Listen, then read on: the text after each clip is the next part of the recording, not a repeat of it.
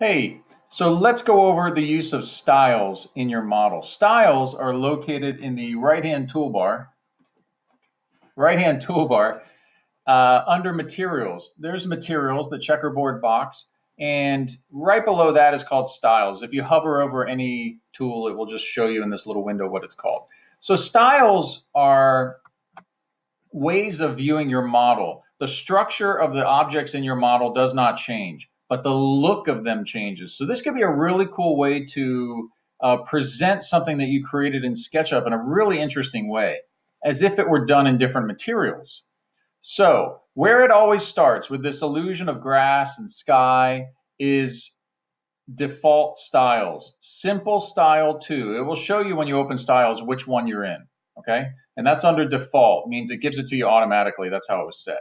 But if you come under like um, assorted styles, for instance, and drop down that window, these are some assorted styles. If you ever want to close it because it gets too busy, look for that look for that little um, drop down arrow and just click it to collapse it.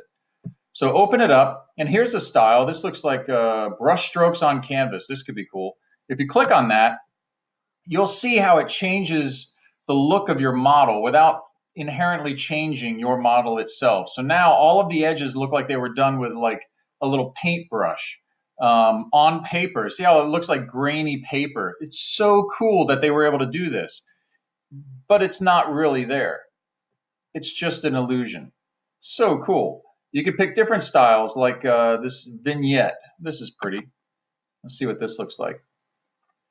What kind of paper it puts it on and all that. Can it do it?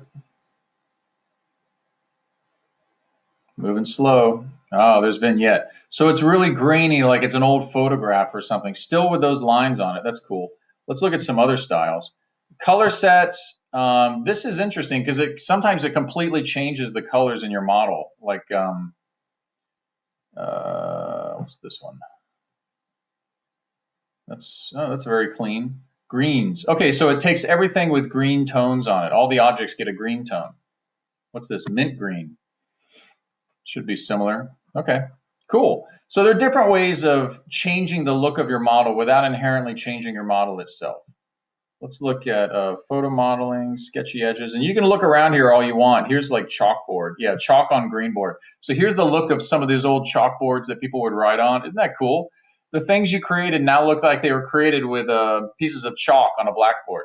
It's so cool. Okay, I just wanted to show you that so you can have some control and some understanding of the tools that are in the right-hand toolbar and how you view your model.